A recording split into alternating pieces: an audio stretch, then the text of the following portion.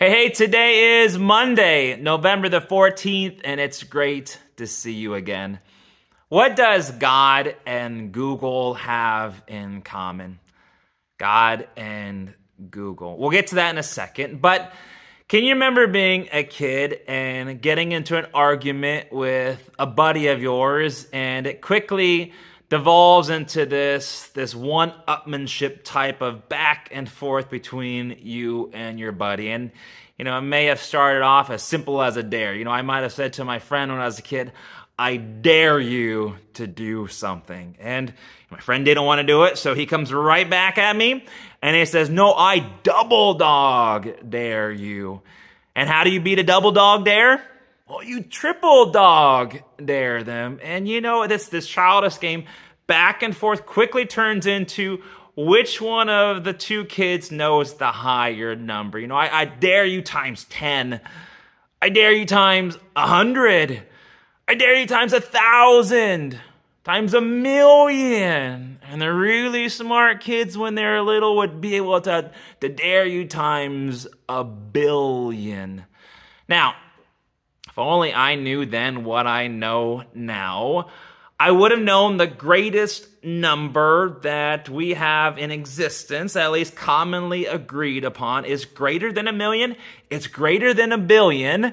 Do you know what it is? What it's called? The, the biggest number that we, we, we can actually think about, contemplate, the, the biggest number um, that mathematicians will, will, will acknowledge is the, greatest number of all. Do you know what it is?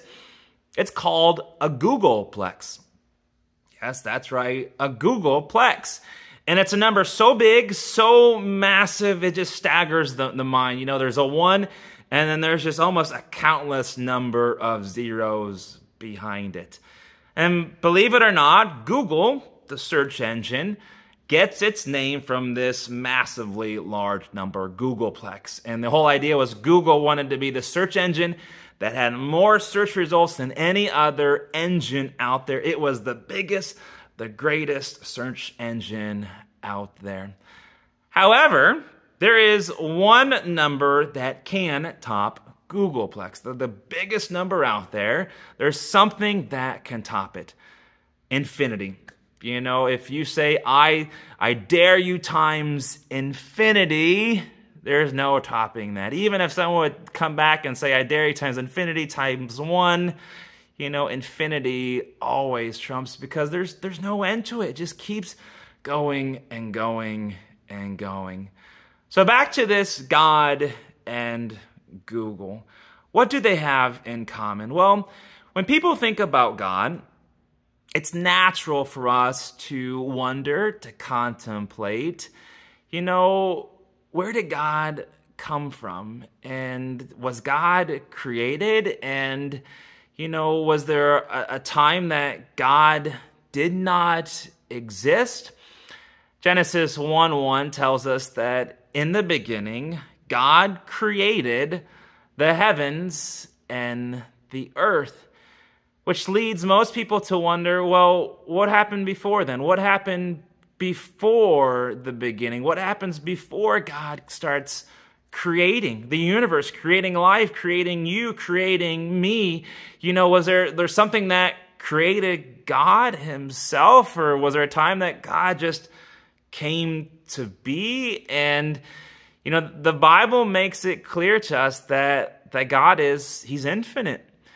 There is no beginning, there is no end. As Revelation teaches us, He's the Alpha and the Omega. There's never been a time that, that there, God has not existed, and there will never be a time that God will cease to exist. God is mighty, God is eternal, God is grand. And, and here's the beautiful part about this you know, Google and God. Um, googolplex there's an end to it. It's it's huge and it's it's mind-boggling just how big of a number this is, but there is there's an end to it. You get to the point where it stops. The Bible makes you a promise.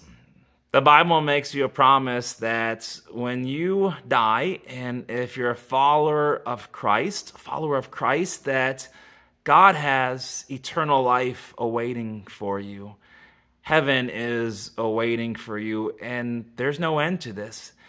It's eternal, it's infinite as we will soak in God's eternal joy, we'll soak in the endless peacefulness, we'll soak in the eternal um, reward that, that God so deeply wants to um, lavish upon us. Let us rejoice in that, that God is eternal, heaven is eternal, and one day uh, we'll rejoice in God's kingdom eternally, infinitely along with Him. Amen.